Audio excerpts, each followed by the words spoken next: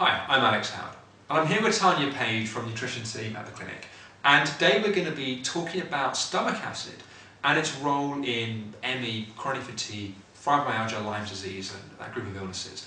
And I think this is particularly interesting because stomach acid not working the way that it's meant to actually has a really big impact on symptoms and people's situations. And it's actually also quite simple to treat. Um, Absolutely. So maybe a good starting point would be what stomach acid actually does, what, it, what its role is in the body. Okay, well it's got a massively fundamental role, and that role is to digest the protein from your food, uh, without which you can't grow, repair or rejuvenate, so that, that's pretty key.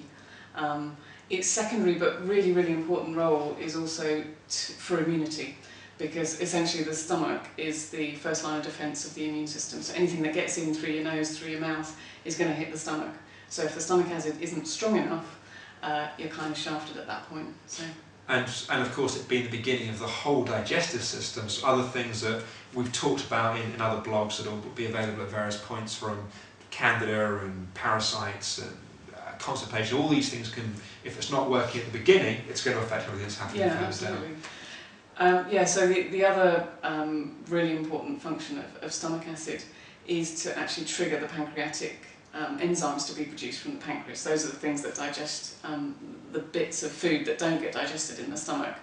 So um, if, if you don't have enough acid leaving the stomach to trigger the hormone that tells the pancreas to produce um, pancreatic juice with all the digestive enzymes, you have poor pancreatic function. So it's, it's, it's hugely important on so many levels that if the stomach acid is not right, you, you get a, an effect all the way down the gut. So what would be some of the, the more obvious symptoms someone would get from having low stomach acid? Okay, this is an area that's not very well understood by the medical profession either, unfortunately, but essentially if you get um, bloating um, or flatulence or burping after food, that's generally a sign that your stomach acid is too low. The reason for that is that uh, the protein in your stomach isn't being broken down quick enough so the carbohydrates that are in there um, start to ferment. And that fermentation produces carbon dioxide, that pushes your um, stomach acid up your esophagus and you get that sort of acid reflux. Um, or you can literally just get the burping from the carbon dioxide um, or flatulence later in the day. Um, so that, that's generally the feeling, and most people understand that, those sort of symptoms, as being high acid, and in fact it's the converse. And, often, and people often will take antacids and that Indeed. kind of thing to try and fix it, and often it just perpetuates the, the problem Indeed. they've got. Yeah, absolutely. Yeah. Okay. So how do we test to find out if someone's got low stomach acid? Well, that's the fun bit. Okay, well, we have three ways of testing. Tanya's aware of my great pleasure in burping, farting, and, and these kind of things. It's, it's, my, it's my inner child coming out in my, in my work. Yeah, so so we have three ways of testing, um, and and the cheapest to the to the most expensive, and, and the easiest way really um, is to use um, bicarbonate of soda. So just your average bicarbonate of soda. Um, and we can do the bicarbonate burp test uh, with that. So essentially you just take a little bit of... Um, it's great fun at dinner parties actually. indeed. Has to be on an empty stomach. Just a little bit um, in some water, just get it down into the stomach. Um, and on an empty stomach essentially the stomach acid should be pretty strong. Um, and the, um, the alkaline nature of the, the bicarb should react with the acid in order to produce carbon dioxide so you'll either burp or you'll get bloated or you'll have flatulence later. Sounds like fun. So that's that, that that's, that's, the, basic testing. Yeah. So that's the nice uh, cheap option, and we often use that um, to, to keep an eye on things. Now, um, what should happen is you, you have quite a lot of um, belching, so not the sort of thing you'd want to be doing in public.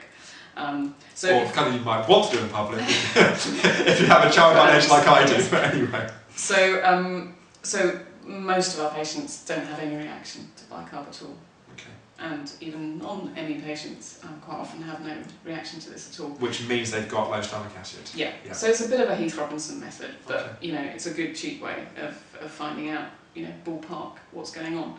Um, then we have something called, um, to give a little bit more um, accuracy on it, something called the gastro test, which is essentially, I won't be able to really show you because you can't see it, but it's essentially a capsule full of string and you, you pin the string onto your uh, side of your mouth, swallow the capsule which takes the string down into your stomach, sits in your stomach for about seven minutes, um, and then you the delightful bit is pulling the string back up again, and then you just develop um, the, the colour on the string. It's a pH sensitive piece of string essentially.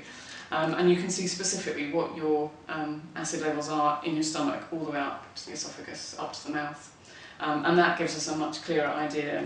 There's a little colour chart that you can refer to, so you should be well down on the colour chart. And uh, again, a lot of people are towards the, the alkaline or neutral levels, which is a bit of a disaster. So that being how we would test for it, what do we do about it? Um, well, actually, it's it's fairly simple. Um, what you basically have to do is is artificially put in some hydrochloric acid, um, which you can put in in tablet, liquid, or um, or capsule form.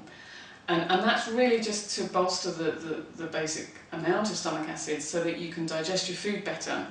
When you do that, you can actually absorb the minerals that you need to produce your own stomach acid.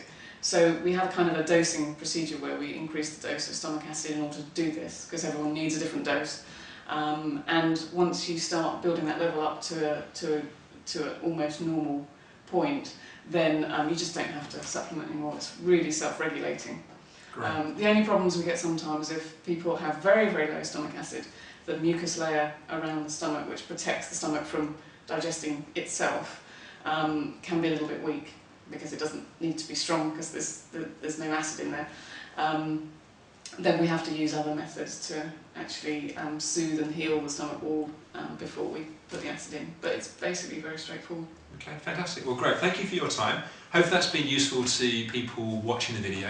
Um, again, as I say end of these videos, if you're a patient in the clinic, then your practitioner will already be looking at this. If you want more information, information pack and a 15 minute chat is a great starting point. So thanks for watching. Thanks, Tanya. I look forward to speaking with you again soon.